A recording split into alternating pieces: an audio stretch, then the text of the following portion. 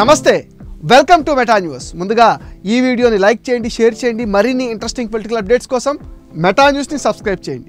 ఇక మ్యాటర్లోకి వస్తే ఏపీలో జగన్ ఐదేళ్ళ పాలనలో మైనింగ్ డిపార్ట్మెంట్లో భారీగా అక్రమాలు చోటు చేసుకున్నాయనే ఆరోపణలు వెల్లువెత్తుతున్నాయి. తాజాగా సిఐడి రంగంలోకి దిగడంతో అక్రమార్కుల గుండెల్లో రైళ్ళు పరిగెడుతున్నాయి.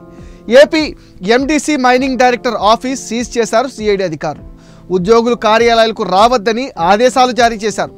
మైనింగ్ డైరెక్టర్ వెంకటరామరెడ్డి లాగిన్ ఐడిని డిజేబుల్ చేసిన అధికారులు తదుపరి చర్యలకు రంగం సిద్ధం చేస్తున్నారు. ప్రస్తుతం ఇన్ఛార్జ్గా ఉన్న యువరాజ్కు లాగిన్ ఐడి ఇచ్చారు సిఐడి అధికారులు. ఎన్నికల షెడ్యూల్ వచ్చిన నాటి నుంచి ఈ ఆఫీస్ ప్రాసెసింగ్ చేసిన ఫైళ్ళను ఆపివేయాలని ఆదేశాలు జారీ చేశారు. ఎన్నికల ఫలితాలు తర్వాత కూడా వెంకట్రామరెడ్డి ఆఫీస్కి వచ్చినట్లు ఆధారాలను బట్టి తెలుస్తోంది. జూన్ నాలుగు తర్వాత వెంకట్రామరెడ్డి కొన్ని ఫైళ్ళపైన క్లియరెన్స్ ఇచ్చారని ప్రచారం సాగుతుంది. ఇంకోవైపు ఇబ్రహీంపట్నంలో మైనింగ్ ఆఫీస్ కూడా సీజ్ చేశారు అధికారులు.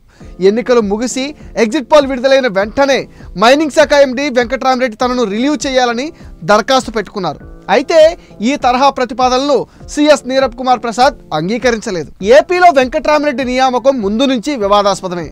నిబంధనలకు తిలోదకాలిచ్చి వెంకట్రామరెడ్డిని సంచాలకుడిగా నియమిస్తూ జీవో ఇచ్చారంటూ టి గంగాధర్ అనే వ్యక్తి హైకోర్టులో పిల్ దాఖలు చేశారు. ఇండియన్ కోస్ట్ గార్డ్లో సివిలియన్ సాఫ్ట్ ఆఫీసర్గా పనిచేసే వెంకట్రామరెడ్డిని పాఠశాల విద్యాశాఖలోకి తెచ్చి తర్వాత మైనింగ్ సంచాలకులుగా నియమించడం చట్ట వ్యతిరేకమన్నారు. గనుల శాఖలో అసిస్టెంట్ డైరెక్టర్గా కనీసం రెండేళ్ళు చేయాలన్న నిబంధనలకు వెంకట్రామరెడ్డి నియామకం వ్యతిరేకమన్నారు గంగాధర్.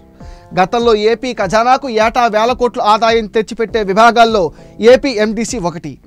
ఎండిసి ఎండి హరినారాయణ బదిలీ అయ్యాక దాన్ని వెంకటరామరెడ్డి చేతిలో పెట్టారు. రెండు వేల పంతొమ్మిదిలో జగన్ సర్కార్ వచ్చాక ఏపీఎండిసికి వలసలు పెరిగాయి. Central coast guard service senior civilian soft ఆఫీసర్గా ఉన్న వెంకట్రామిరెడ్డి గనుల శాఖ డైరెక్టర్గా వచ్చారు. విశాఖ జిల్లాలో లేటరైటర్ మైనింగ్లో వేల కోట్ల రూపాయల అక్రమాలు చోటు చేసుకున్నాయంటూ ప్రచారం జరగ్గా అవన్నీ అబద్ధమని గనుల శాఖ డైరెక్టర్ వెంకట్రామిరెడ్డి కొట్టిపారేశారు. రాష్ట్రంలో సహజ వనరులను అడ్డగోలుగా దోచుకున్నారు. మైనింగ్ శాఖలో భారీగా అక్రమాలకు పాల్పడ్డారు. ఎన్జీటీ నిబంధనలను బేఖాతారు చేశారు. ఈ చర్యలతో రాష్ట్ర ఖజానాకు పెద్ద ఎత్తున నష్టం వాటిల్లింది.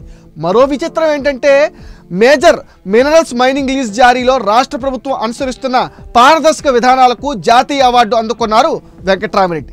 మేము అధికారంలోకి వచ్చాక జయగాంగ్ యథేచ్ఛగా సాగించిన మైనింగ్ దోపిడీ పైన పూర్తి స్థాయి విచారణ జరిపించి అక్రమార్కులపైన కఠిన చర్యలు తీసుకుంటామని టీడీపీ జాతీయ ప్రధాన కార్యదర్శి నారా లోకేష్ అన్నారంటే గనుల శాఖలో ఎంత అవినీతి ఉందో అర్థం చేసుకోవచ్చు.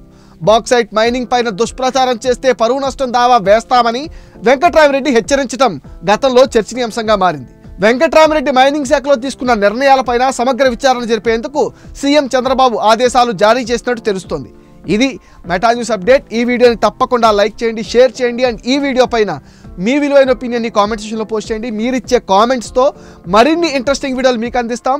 ఫ్రెండ్స్ మీరు చేసిన సపోర్ట్తోనే మేము సెవెంటీ కేకి రీచ్ అయ్యాం. అండ్ ఈ ఛానల్ని హండ్రెడ్ కేలో నిలపాల్సిన బాధ్యత మీదే. దానికి మీరు చేయాల్సిందల్లా ఈ వీడియోస్ని మీ ఫ్రెండ్స్ అండ్ ఫ్యామిలీకి షేర్ చేయండి.